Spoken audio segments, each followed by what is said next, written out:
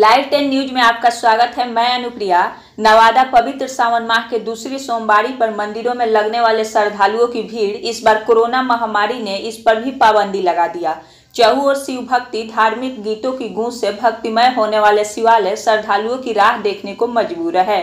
विदित हो कि देश में कोरोना वैश्विक महामारी से निपटने के लिए शहर के कई धार्मिक स्थलों के बाहर सोशल डिस्टेंसिंग का पालन करते हुए छीटफूट श्रद्धालुओं ने भगवान शिव का जलाभिषेक किया। वहीं नवादा के सुप्रसिद्ध मंदिर बाबा दूरनाथ के मंदिर में भी भक्त सुबह सुबह भगवान शिव के जलाभिषेक के लिए सामाजिक दूरी का पालन किया।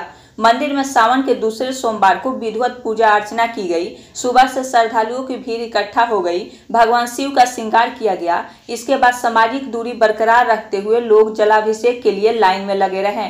कोरोना काल में मंदिर प्रबंधन की ओर से खास इंतज़ाम भी किए गए थे।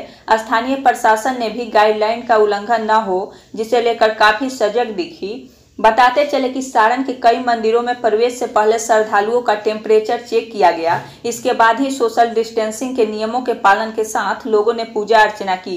लाइव टेन से मोहन सिंह की रिपोर्ट।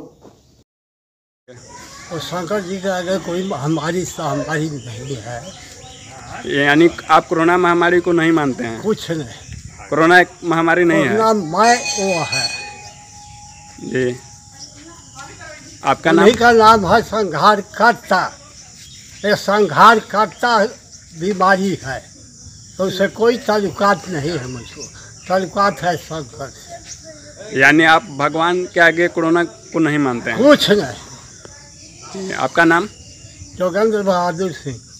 अपना हम अपना हाल जानते हैं हम अपना सोशल स्थिति करके दू मीटर के दूरी पर रह के पूजा करके अपना जाएँगे। जी जी। और बाकी बाकी लोग? लेकिन बाकी रह गया सरकार की नियम है तो सरकार को चाहिए कि मंदिर में ता, ताला लगवा दे।